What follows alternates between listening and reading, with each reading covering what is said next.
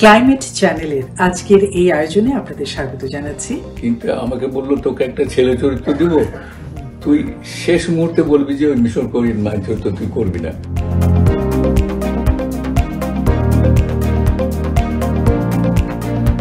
তিনটে নাটক করেছিলাম। সেই নাটকের রক্তকরবী। রক্তকর্মী কাশের দেশ রাজা ও রানী। এই তিনটেরই প্রধান চরিত্রে আমি অভিনয় করেছিলাম। এবং তিনটাই খুব সিম্বলিক ছিল। হ্যাঁ, বিশেষ করে রক্ত রক্তকরবীতে বলা হয়ে থাকে যে যখন রাজার মৃত্যুটাকে আপনি সিম্বলাইজ করেছেন আয়ুব খান হিসেবে। হ্যাঁ।